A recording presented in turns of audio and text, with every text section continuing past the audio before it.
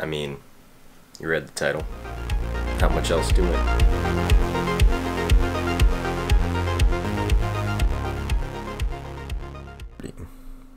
And we are live.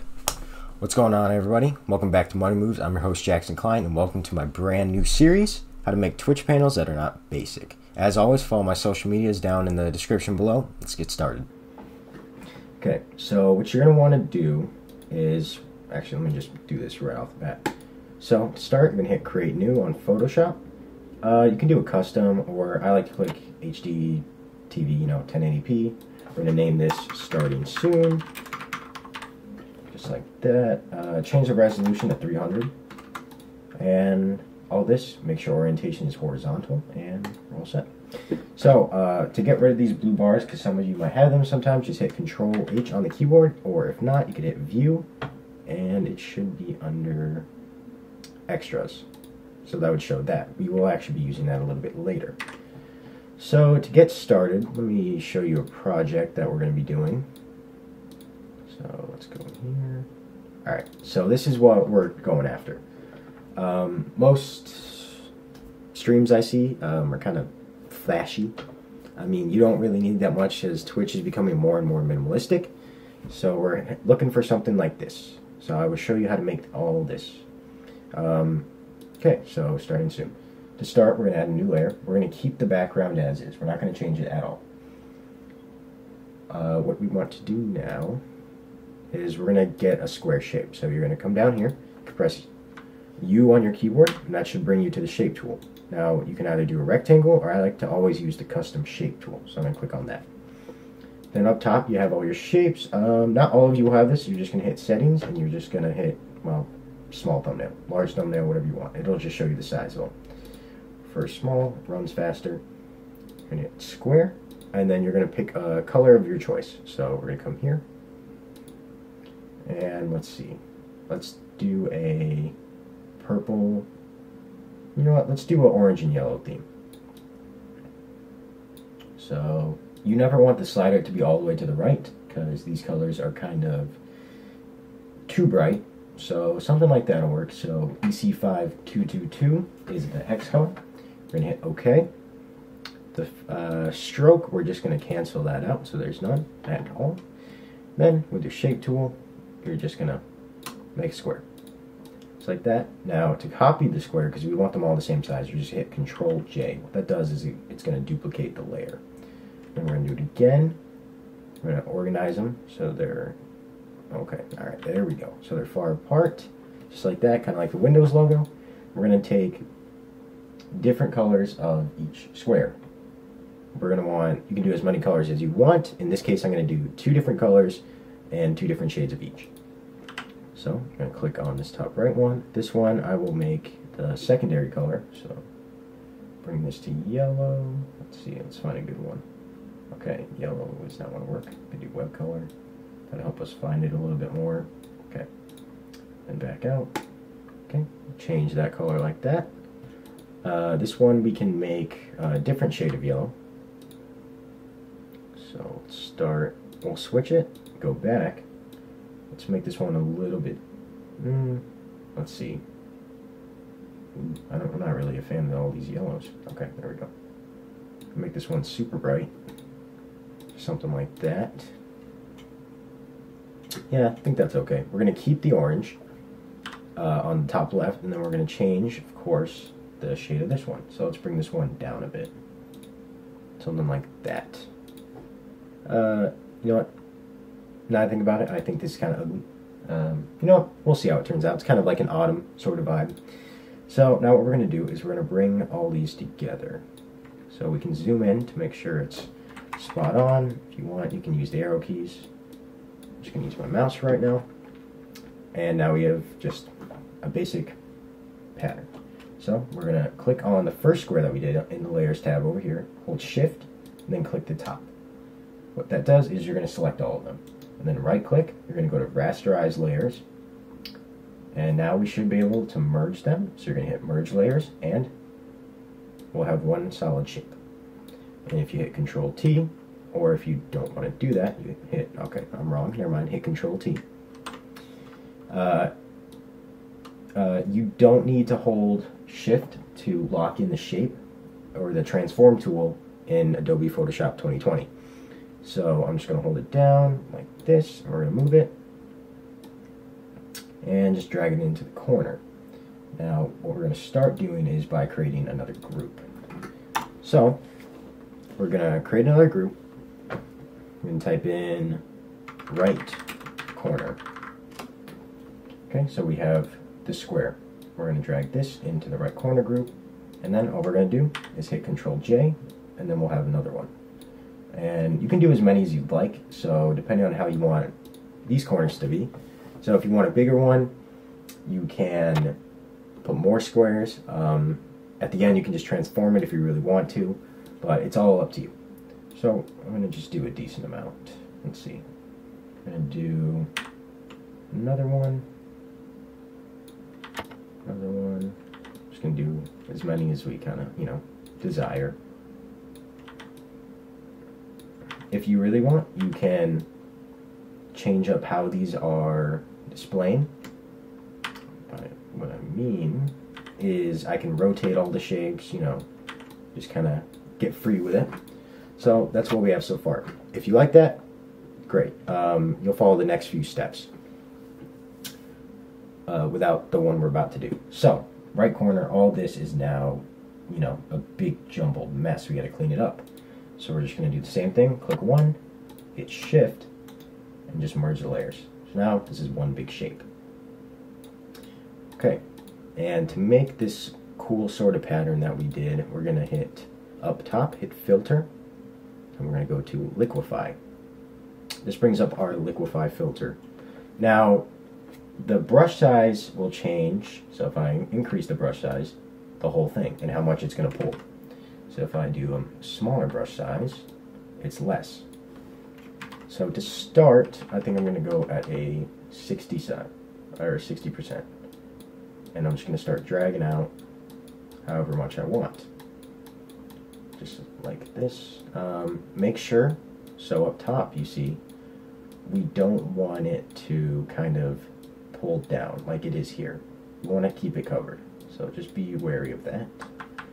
Uh, every now and then just change your brush size to make it randomized or if you know if you want to keep it similar go ahead it is your design to play with alright so this looks good my issue is that these sides over here are all uniform so we're just going to bring down actually no we could bring up the brush size and just kind of pull these more included in a different direction and then we'll pull them back just like that. This is why sometimes it's a good idea to rotate each shape when we were making the bigger one. Okay. Just like that.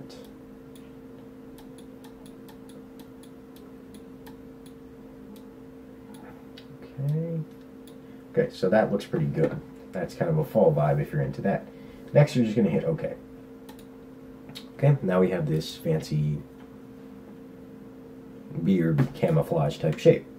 Once again, you're going to hit Control J, and this is able to move. Hit Control T. Uh, if you don't want to, you can hit Rotate 180. Or the other option you can do is hold down Shift, and then just drag along the corners. Uh, the Shift, Shift will lock the points.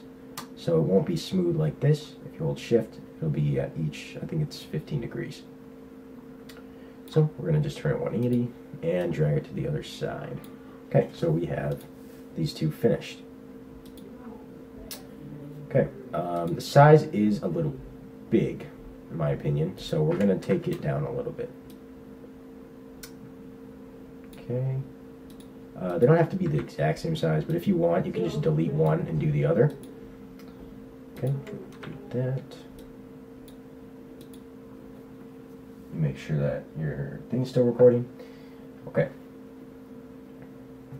And so this is our second one. So we're actually going to drag this out to keep it organized. So we're going to close right corner, and then we're going to add a new group and name it. Uh, name it left corner. It doesn't have to be bottom left. corner. Okay, so drag this into here, and that's all set up. Uh, you'll see actually on this one that you have one in the top left and one in the bottom right. Uh, to do that, it's just the same process. You hit Control J, rotate, you know, just move it however you want. You can mess with it. Uh, here, let's actually shrink these a bit so they look a little bit strange. Okay, and then actually I'm going to take this one out before, hit right corner. So now we have this, and we just move it like that. Perfect. Now, to make the design, because right now you have a lot of open space, right? So you want to close it in. You can. You don't have to, but I would. So at the top and on the sides, we're going to just take one of these designs. We're actually going to drag this all the way out. What you want to do is you're going to flip it all the way around so it's a straight edge. And you're just going to stretch it. I'm going to stretch it all the way out. Hit the check mark at the top. And you're actually going to want to place this one, because it has a hard line, over here. You're going to want to place it all the way underneath all these layers so it blends in better. Just like that. Hit Control J again and bring it up. Control T. And then you can just do flip vertical. And then should be upside down. And then we can match the bottom. Alright, so those look pretty symmetrical if you really want to like perfect on where they are. Uh, we're going to go back to what I mentioned in the start, hit Control H. So when you have Control H open, you'll see all these pink lines show up, and you can line it up with that blue bar. So this one actually isn't high enough. Going to bring it up, and they are now aligned. Okay, uh, the next thing we're going to do is you're going to add the name. So we hit T. We're going to actually go in our layers and click left corner and add a new tab. Oh, make sure it is not in the group. Move it down like that. Close these up just so it's a little bit easier. Then uh, the font I'm using, we will use, it's Gold Girls. You can find this on DaFont. Uh, you can't actually commercially use it unless you buy a license from them. But for this case, uh, it's just a test, so we'll be okay. Alright, so you can do whatever color you want. I'm going to use black in this instance. Uh, when you use text, you want to make sure that you change the size font, or the font size. Um, you don't want to transform it, or sometimes it's going to become blurry. So we're going to just put in money moves. Okay, okay. Money moves. Just like that. So you're going to put in your Twitch name. You're going to add another one right under here. So we're going to actually, instead of 48, we're going to say something like 18. Is starting soon. And then one, two, three. Here we go. Just like that. And you have a basic started screen. It's not too crazy. Um, so if we actually hit Control H, we can actually center them when he moves. Uh, it'll tell me when it's centered. Oh, wait. Here we go. Okay, this is, there we go, centered.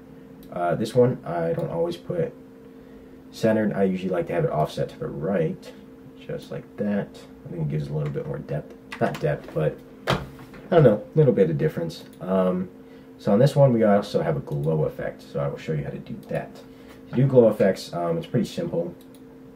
Uh, you have a couple options. So you could just do, oh sorry, let me redo that. But you click on the side of the layer, double click, and you come up with the layer style tab.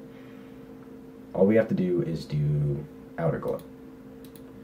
Uh, we can change the color of the glow, so we want to match it. We could do yellow, for instance. We'll do the same yellow and then we can bring up normal, blend, blend mode normal, opacity we can bring down a bit, the size we want to bring down, like that. Now that's okay, um, it doesn't seem as glowy as this one, this one's more like a blurred. So instead what we're going to do is we're going to get rid of these effects, so we're going to reopen it, just uncheck that. Uh, one way I like to do the effects is I will hit Control J and duplicate the text. And then just like that, we're going to actually change the color of this font, of the one we duplicated. Let's put it at yellow of what we did last time. Then you're going to just place it, I mean you could do this too. This is like an offset thing. Um, but we're going to just place it over the text. You're going to hit filter. Where is it? Um, blur, sorry. And then you're going to hit Gaussian blur. Uh, convert to smart object. Then you're going to bring this down. Uh, let's, let's say about 12.5.